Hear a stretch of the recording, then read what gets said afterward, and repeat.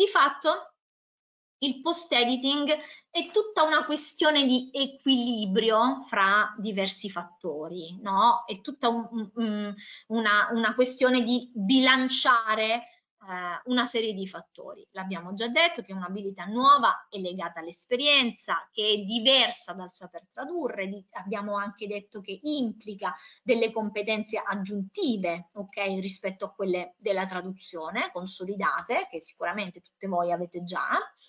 E, ehm, quindi in questo scenario, nello scenario del post editing, è fondamentale bilanciare una serie di elementi. Innanzitutto i costi della traduzione. Questo diciamo è un aspetto che probabilmente non ci interessa direttamente come traduttori, no? ma interessa prevalentemente le agenzie di traduzione. Bilanciare la qualità di arrivo, in, in, relazione alle aspettative del cliente, no? Bilanciare il tempo, il fattore tempo è quello che a noi interessa invece molto direttamente, no? Quanto tempo ci impiego a tradurre quel testo? Il post editing implica un risparmio di tempo rispetto alla traduzione tradizionale, poi lo vedremo dopo. Quindi questi fattori vanno bilanciati in base alla destinazione e all'utilizzo del testo, del testo tradotto, quindi da chi verrà consultato quel testo, perché verrà utilizzato, per quali scopi, con quali obiettivi e alla deperibilità della traduzione. La deperibilità ha a che fare con, un po' con il ciclo di vita del testo, no? per quanto tempo quel testo verrà consultato soltanto una volta per accedere a quell'informazione oppure un testo di riferimento che verrà invece consultato più volte. Quindi anche il ciclo di vita del testo ha un impatto sulla scelta rispetto al post editing o non post editing e sulla scelta del livello di post editing da applicare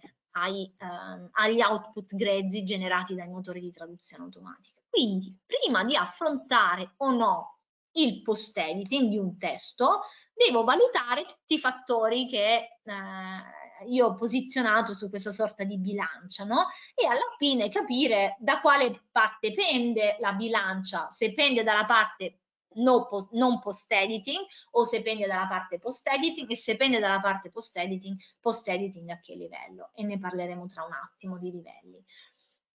Quindi il primo fattore che consideriamo è la durata dell'utilizzo del documento ne abbiamo appena parlato, no? Qui ci riferiamo alla deperibilità della traduzione, per quanto tempo quel documento verrà consultato. Esempio, è un manuale di istruzioni che viene consultato una volta per uh, uh, installare, non so, la macchinetta del caffè, poi di tanto in tanto se c'è un guasto, oppure un testo di riferimento che consulto più di frequente, quindi la durata dell'utilizzo del documento.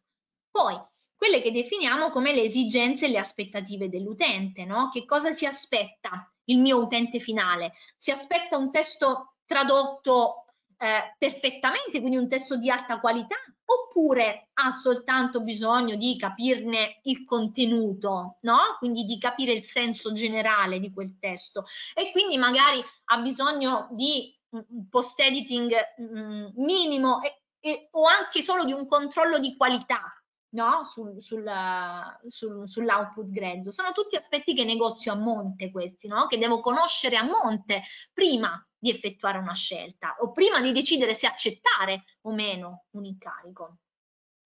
E un altro aspetto è la capacità dei lettori o dei destinatari di quel testo tradotto di servirsi del documento. Per esempio, il mio destinatario conosce un po' la lingua di partenza e quindi se non dovesse comprendere perfettamente il testo tradotto automaticamente sarebbe in grado di andare a consultare il testo di partenza oppure no. Quindi che capacità ha il mio lettore, il mio destinatario di servirsi di quel testo tradotto, di quella traduzione automatica, grezza o non grezza, grezza o posteditata. Ok, quindi questo è un altro fattore che si tiene in considerazione. Poi il tipo di documento, quindi la tipologia testuale, ne abbiamo già parlato prima, diverse tipologie testuali, oggi sempre più tipologie no? si avvicinano a questa tecnica della traduzione automatica e del post editing. La lunghezza del documento, spesso documenti molto lunghi vengono tradotti automaticamente, si chiede al, al post editor di effettuare un post editing di quel testo, è un fattore che influisce quello, e la cosiddetta visibilità del documento. Di visibilità ne parleremo anche dopo perché è un concetto importante. A che cosa fa riferimento? quel testo che io ho tradotto automaticamente o che qualcuno ha tradotto automaticamente per me che io devo post, post editare è un testo destinato alla sola circolazione interna. Per esempio, lavoro in una società, ricevo uh, un preventivo da un mio fornitore estero ho bisogno che contiene una serie di postille, quindi ho bisogno di uh, diffondere no, quel documento tra i miei colleghi, lo traduco automaticamente ehm, e ci faccio magari un light post editing, no? quindi un post editing minimo per assicurarmi, lo diremo tra un attimo, che le informazioni siano corrette. Quello è un testo che rimane um, a circolazione interna, no? riferendomi sempre al concetto della visibilità. Un testo che invece viene pubblicato, una pagina di un sito web, un documento ufficiale, quello ha una eh, visibilità esterna, quindi è un testo destinato alla pubblicazione esterna e questo ha un impatto sulla scelta, sulla tipologia di post editing che vado a effettuare, una volta che ho deciso di effettuarlo, se l'ho deciso. L'altro fattore sono i tempi di consegna, il tempo, la deadline no? che, che, il mio cliente o la mia agenzia mi, eh, mi impone ha un impatto, come no, sulla scelta rispetto alla traduzione automatica più post editing o meno. Se ho una deadline molto stretta, il post editing della traduzione automatica su certe coppie di lingue, per certi tipi di testi, eccetera, mi può garantire una velocizzazione del processo, quindi un aumento della produttività. Quindi anche il tempo di consegna ha un impatto su questo. E poi la qualità dell'output, che come vedete ho messo in grassetto, perché che cito per ultima, perché eh, insomma ultima ma non meno importante, forse la più importante.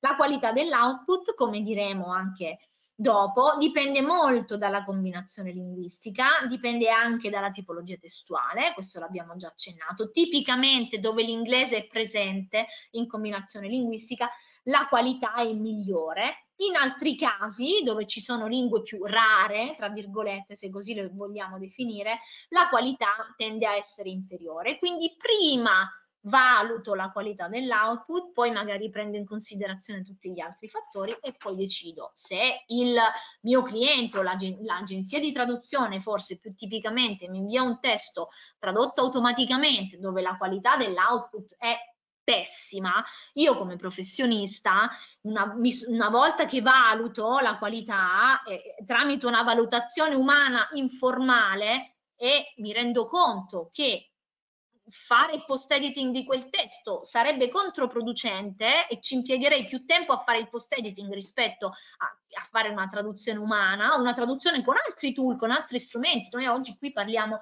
solo di traduzione umana, ma no? Esistono tante altre tecnologie, tante altre tecniche, tanti approcci, quindi in quel caso è chiaro che eh, probabilmente se fossi io mi rifiuterei no? di effettuare il post editing perché è oggettivamente pagato di meno rispetto alla trad traduzione tradizionale e però in quel caso se la qualità è così scarsa ci impiego di più a fare il post editing rispetto che a una mh, fare una traduzione eh, in maniera tradizionale o con altri strumenti, con altri metodi. Quindi la qualità dell'output ha un impatto fondamentale sulla mia decisione. Ok?